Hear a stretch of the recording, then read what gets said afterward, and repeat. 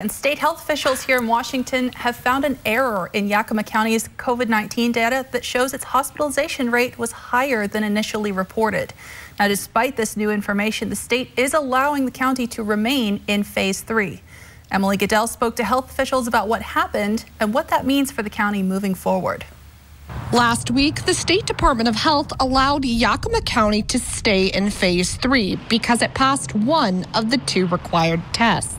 While it failed the COVID 19 case rate test by having more than 200 cases per 100,000 people over two weeks, the county was allowed to stay where it was because it passed the hospitalization rate test. It needed to have less than five new hospitalizations per 100,000 people in a week and it came in under the limit at 3.9. But health officials found out later that the county's hospitalization rate was higher than initially reported. Officials say the error happened when a local hospital mistakenly reported data based on when COVID 19 patients were discharged from the hospital instead of when they were admitted. The Yakima Health District says they're not in charge of that data, but have worked with the state and local hospitals to fix the problem. With the correct numbers in place, the county was right at the limit at exactly five new hospitalizations a week. The State Department of Health says because it's so close to the threshold, they're letting Yakima County stay in phase three, at least until the next evaluation in May. Meanwhile, the health district is urging residents to be careful as the county's COVID 19 case numbers are still higher than they should be. As of April 19th, we are looking at 272 new COVID 19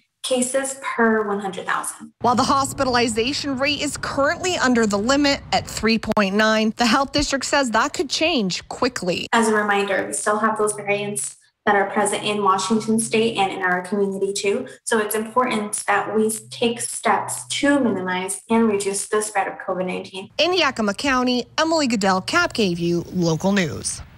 Now, the State Department of Health says they didn't find any data errors in other counties, and they do not plan to make any changes before the next evaluations. Those are set up for May 3rd.